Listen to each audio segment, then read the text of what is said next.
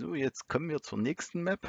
Die nennt sich Terminus. Wir müssen hier auf der linken und auf der rechten Seite jeweils ein Tor öffnen und dann jeweils drei Kisten sind auf jeder Seite. Eventuell hat man ja Glück und es sind alle Kisten auf der einen Seite befüllt. Andernfalls sollte man hier sich auf jeden Fall beeilen, um das Ganze durchzuführen.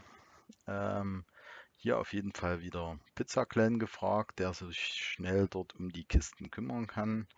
Gegebenenfalls mit Walker Mike dort schnell äh, durchjagen kann. Ähm, der Spawn ist hier relativ günstig, denn er kommt von der oberen Seite primär, also die oberen sechs Felder, die jetzt über Mörser sind dort.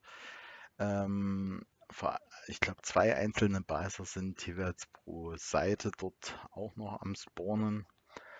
Aber wie gesagt, äh, mit Pizza Clan sollte man sich hier versuchen, schnell durchzuarbeiten und dann vielleicht mit einem Krieger, also Ezekiel oder Tyrese, dort den einkommenden Spawn bearbeiten.